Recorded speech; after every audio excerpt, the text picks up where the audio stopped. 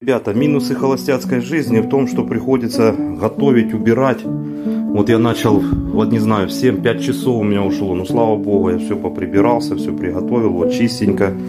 Сейчас вот покушаю, вот приготовил, вот я вам покажу. Супчик вот такой вот грибной я все-таки решил, не стал я борщ. Курочка вот. Тут у меня конфеточки, десертик. Ребята, вон видите, ванну, вот я скупался, вот ванну, вот вытер, вот чистенькая ванну. То вы говорили, я подготавливаюсь. Вот она у меня всегда в таком состоянии. Вот тряпочка. Так что вот так, ребята, сейчас покушаю.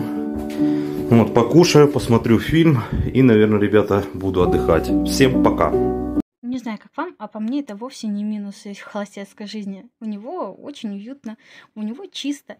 А, опять же, никто ему не вносит мозг. А жил бы он а, женщиной, сейчас бы началось, вот купи это, купи то. Недостаток финансирования, соответственно. Ну и, ну, просто нету никакой свободы действия. А так оно как-то спокойней.